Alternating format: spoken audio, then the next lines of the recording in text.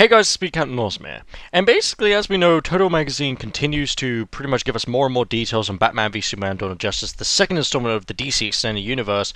And the interesting thing is, it is uh, being revealed that apparently Zack Snyder will make a cameo uh, you know, in the second installment, Dawn of Justice. So this is very, very exciting. Basically, as you can tell, you know, it's similar to Stan Lee, where he appears in you know all the Marvel Cinematic Universe movies and everything, and all anything to do with that. So this is really, really cool and everything.